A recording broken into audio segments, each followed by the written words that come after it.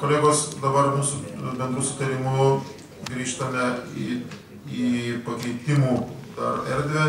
E, dabar bus pirmasis papildomas darbo atvarkės klausimas dėl Klaipėdos miesto savivaldybės tarybos kolegijos sudarimo pakeitimo. Prašau, gerbiamą Vaidą Žvikienę. Gerbiamas merė, gerbiama taryba. Teikiamas sprendimo projektas dėl Klaipėdos miesto savivaldybės tarybos kolegijos sudėties pakeitimo. Sprendimu yra siūloma pakeisti kolegijos sudėtį ir vietoje tarybos nario Arūno Barpšio kolegijos narių patvirtinti tarybos narį Vytautą Lupeiką. Sprendimo projektas yra teikiamas e, Tevinės sąjungos Lietuvos krikščionių demokratų frakcijos prašymų pagrindu. Prašau tarybą priimti sprendimą. Ačiū. Gerbiamas Indas Traškevičius, turite klausimą, prašau. Siūlau balsuoti. Klausimas gerbiamai Žvikieniai. Ar yra klausimų daugiau? Klausimų nematau. Tada ačiū gerbiamą Vaidą. Ar ir noriu čia pasisakyti? Taip pat nematau. Tada kolegos kviečiu balsuoti. Yra pirmasis papildomas darbuotojas klausimas. Pradėjome balsavimą. Ponas Tutaikas sutinka, turbūt.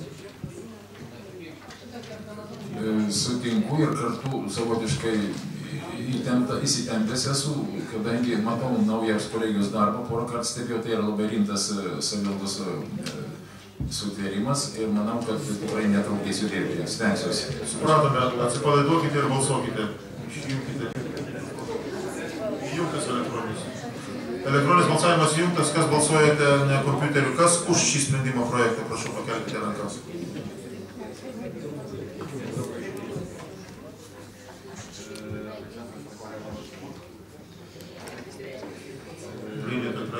Zita Šimšytė.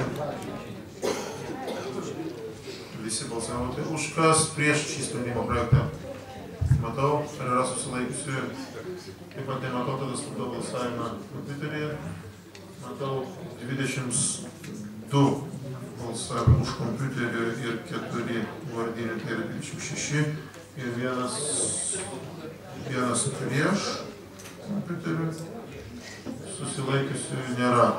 Tai kolegos 26 tarybos nariam balsavo už Vytautas Lupeika įsijungs į sklandžiai ir darniai Vytautas. Aš balsavau už, nežinau, kodėl atsidūrė prie.